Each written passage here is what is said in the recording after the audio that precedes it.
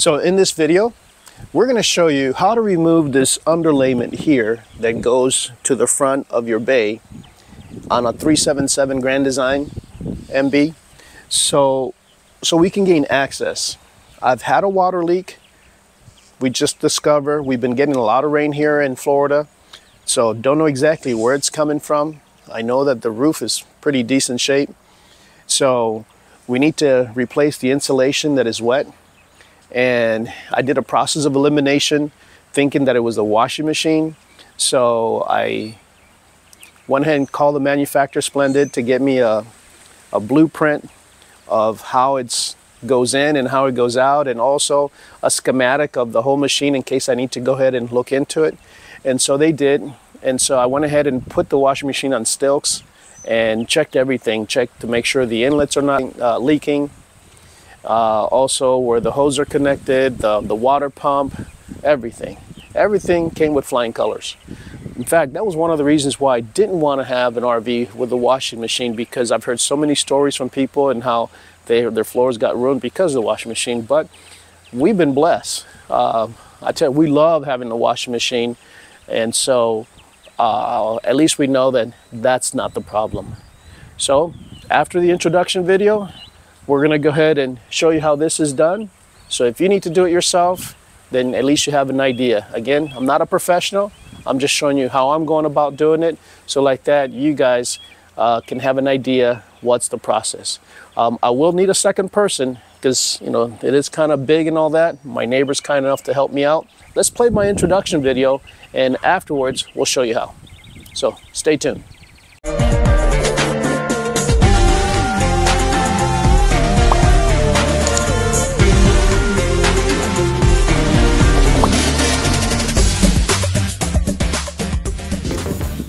See here, we're going to be removing this plastic here. There's a few screws. This corner is going to have to come out.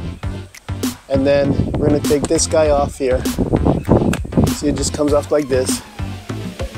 And then there's some screws that we're going to be removing. And this is sealed or caulked.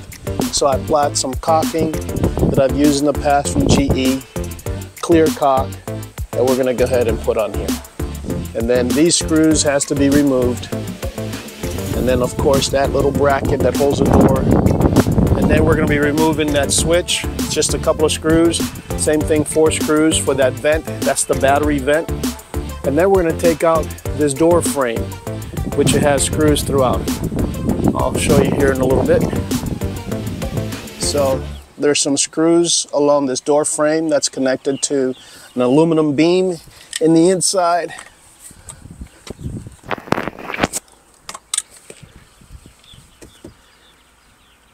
You can see it here.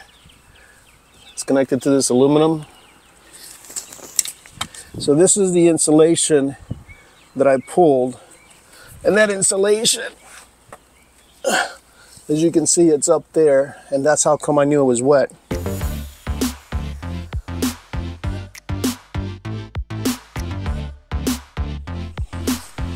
So you can see we're gonna do the blue tape all the way around. And we're also gonna do the inside, just to have it ready.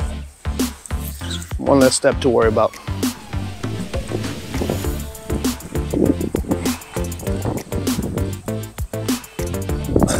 So here it is, all taped up. Just so when I put the silicone, it doesn't get onto the body. So, oh yeah, I guess I need to do this edge too. Just like I did there. All right, so it's all taped up. Now I'm gonna go ahead and take this plastic off. I think there's a screw here. We'll take it as much as we can. We gotta take that screw off. We'll pull it out like this.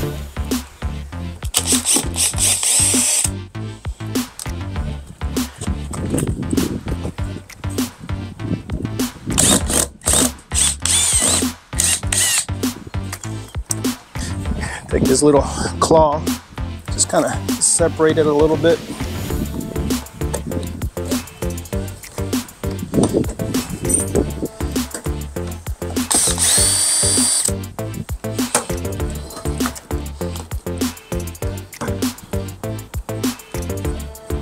See, boom, and that's it. So I'm gonna go ahead and just label these and with the screws, tape it all together. See, I'm gonna put here up, as much details, so then I'll be able to know where it goes back. So I'm gonna do that to the other side, take everything off, and then I'll get back with you guys. I'm gonna make it to the right, looking forward, because some of them on the plastic already has the word R for right. So I'm gonna go ahead and make it the same. So I changed this. So this will be right, uh, right goes on this side, left will go on that side, looking out towards the truck. That makes it a little bit easier. So I already took both corners out, took this corner up here in the front, which is right there, you can see. And it had a little bit of water there, so I wanna make sure I do some good caulking there.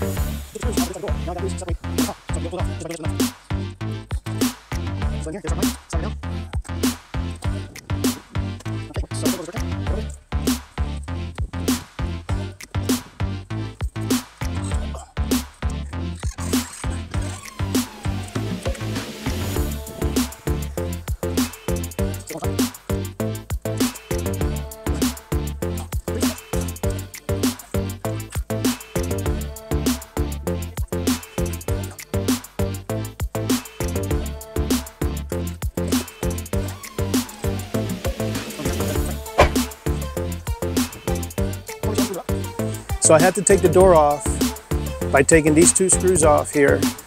That's the hinge there. And then there's some in the middle and on that side. So here, I'm finally getting it. Just coming around the back. Just put a little pressure.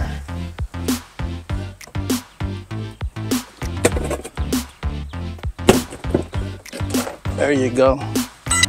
Tough. Ah.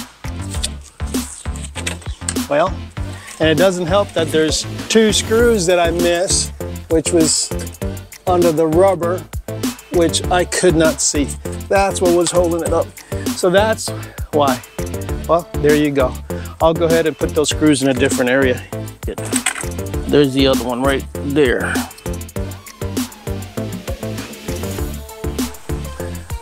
So this bottom track here, only had three screws holding it up. So as soon as I took it off,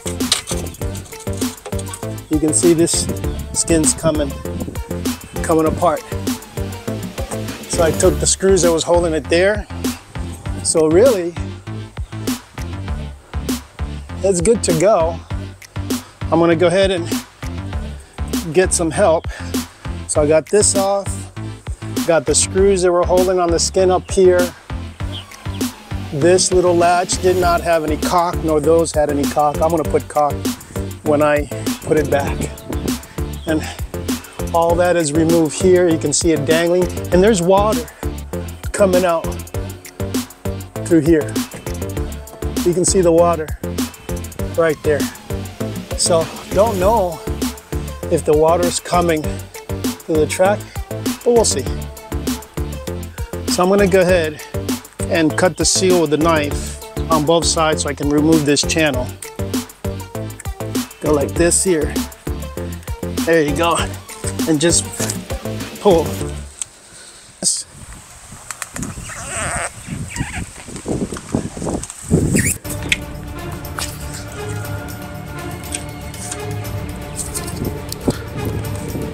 So it looked like it started coming apart once I took the railing off.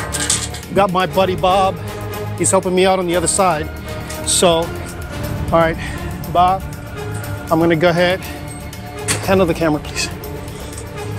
So, lay it down a little bit. All right, let's see if we can come here and pull backwards.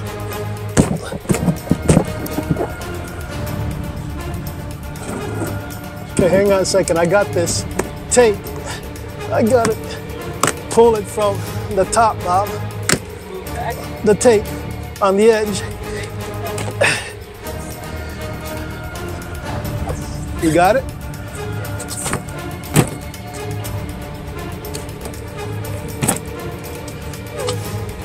Okay, hang on. Bob, right here, look in here. Take this, coil it up this way.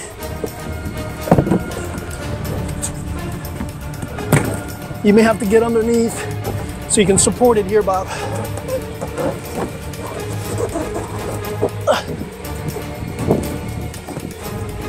Pretty, it's much in there.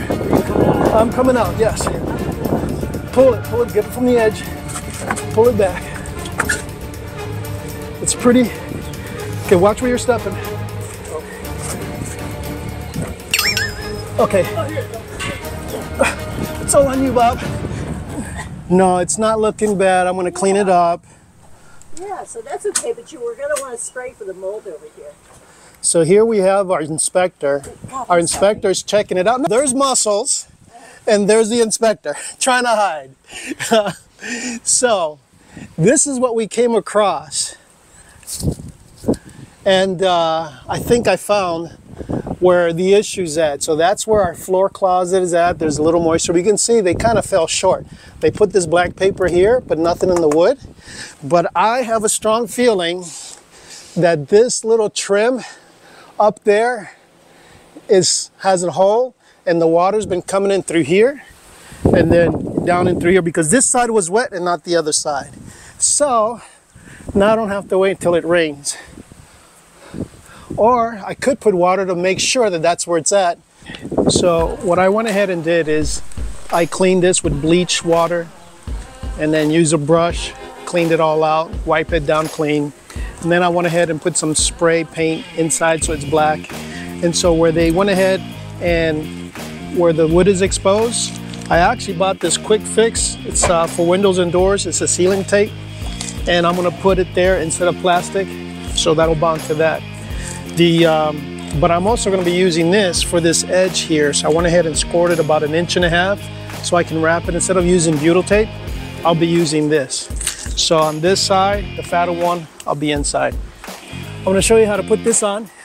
This is like a rubber membrane, self-stick. It almost reminds me of when you on the roof and you got that ice shield. So basically we're gonna go ahead, I measured it. And even though I stick out, I'm gonna, I'll trim it. So here I'm peeling it. So you can see what I did is I scored it. So this section is for this, and then this is gonna be my, for my edges. So now I'm gonna put my straight edge against here. So I'm gonna ride a little bit on this here. Edge. Right there. There you go. Then make sure in. There you go. Then I'll take a knife and trim this out.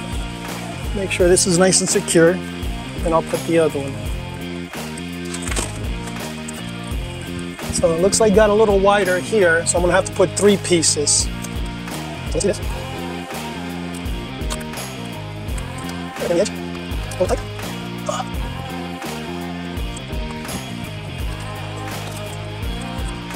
So I'm gonna take one and just gonna squeeze here.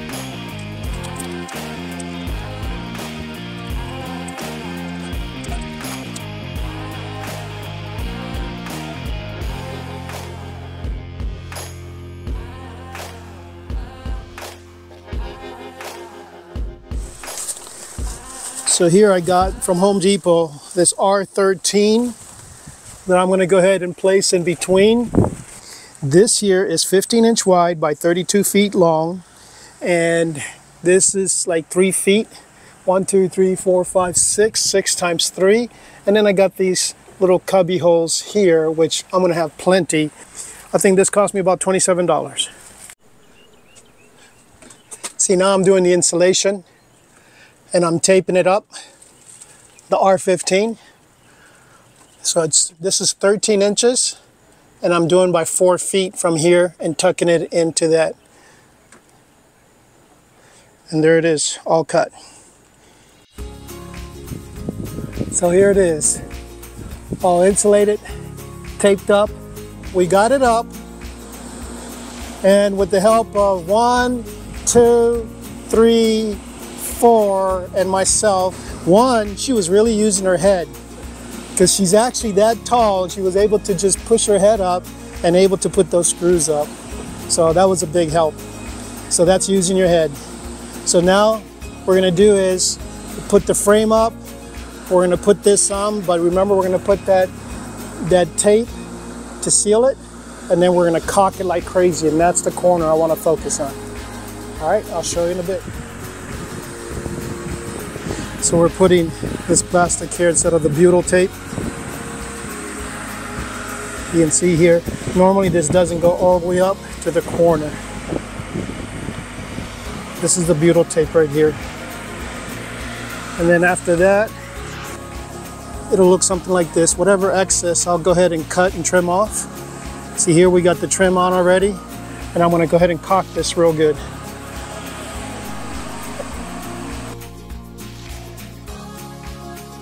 This morning I went ahead and checked some areas that needed some more caulking because we couldn't see.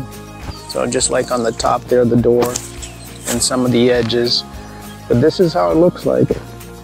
Wavy, it's because of the insulation. And uh, I may consider putting some more screws in the top area. Just want to make sure that I caulked it real good. Especially this area here. This is the area of concern. And I also, I also did it up there by the gutter. Caulked it real good in case there's water coming this way. But this is the area that I mainly was concerned about. So I went real thick there. And you can see I put the bead all the way around. It started to rain and so we're finished here. And hopefully that will solve the problem. We won't have any problems with mold now, new insulation. Now, one of the giveaways that we had an issue was our floor right in front of our closet. Since it's particle board, it started to cave in a little bit. So I am gonna go ahead and put some Bondo just to kind of make it even. It's just a little bit and then I'm gonna put the uh, vinyl floor back down again. So we'll show you that in a minute. Now the Splendide machine, washing machine, just so you guys know, we have a video and you can see it up here where we had the issue with the gasket when we first bought it and it had mold. Well, you can check that video out in order how to replace it. But I did talk to the manufacturer and they sent me a whole schematic of the dryer and washing machine. So hopefully that'll help you. But now, hopefully now you guys can do this on your own. You will need some help, you know, at least three to four other people just to help you to remove the skin and to put it back up again. Otherwise, pretty much is a DIY as long as you got the right tools and the help. So this was the floor. Right here is where we felt that that was soft. So what I ended up doing was right here I took a knife and cut it right at the seam where this wood plank looked like right where the joints at. Could have done a little bit better. And then I lifted this up. There's some staples and there's a piece of wood. I ended up cutting the wood right here because otherwise it goes behind this. So that whole wood came out. And then the end of this was at the bottom here so I didn't have to cut it there. I did cut it on that edge so I can peel it up. And then once I put some Bondo at Home Depot they have this type of Bondo filler. I just put a tiny bit where there was like pits and it feels pretty good now. Because uh, I took a level and just right here is a little dent indentation.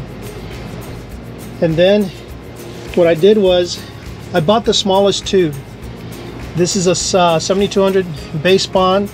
It's for wall base adhesive. And uh, it's still adhesive with vinyl. And then I got one of these guys that has the uh, 116th and uh, 132nd on one edge. So I use the 116th right here just to kind of spread it kind of evenly. I only did a little bit on that end and a little bit under these two so I get it here. So you can see it's it's pretty smooth.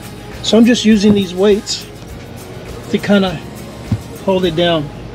And I only came my cut up to here. So like that I can fold it back. And it worked out perfect.